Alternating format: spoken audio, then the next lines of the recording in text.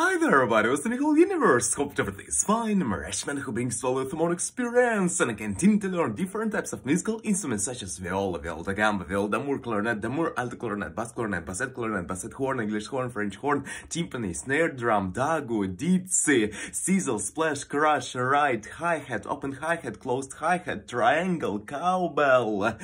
guzheng, bao sheng, sheng, pipa, bipa, biwa, flute, flugelhorn, cornet, soprano cornet, cornet with double T, accordion,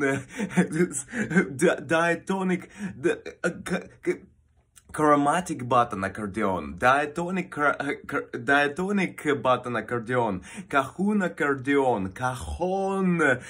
xylophone, membran, uh, idiophones, membranophones, aerophones, chordophones, electrophones, theremin, automaton, psaltery, psalterium, organistrum, potety, fogan.